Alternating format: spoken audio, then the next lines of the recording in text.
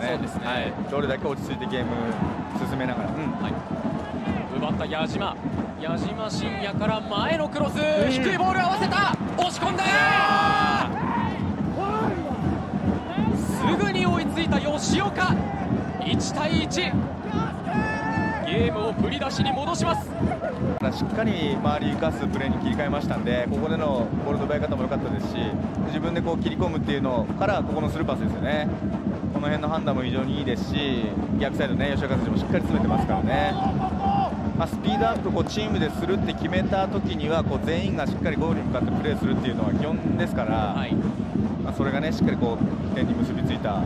これもいい点でしたよね。